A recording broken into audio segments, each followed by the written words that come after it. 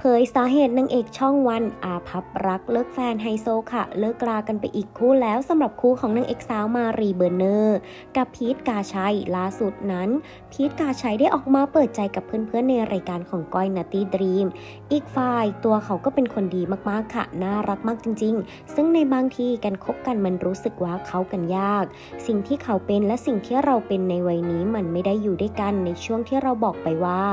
คุณต้องเปลี่ยนเพื่อเรานะ หรือเราต้องเปลี่ยนเพื่อคุณ วิธีคิดของเขาและเรามันไม่ตรงกัน ซึ่งถ้าเป็นในช่วงอายุ 20 ต้นๆ เราอาจจะลากกันไปได้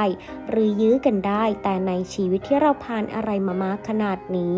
เรารู้สึกว่ามันไม่ควรทำค่ะ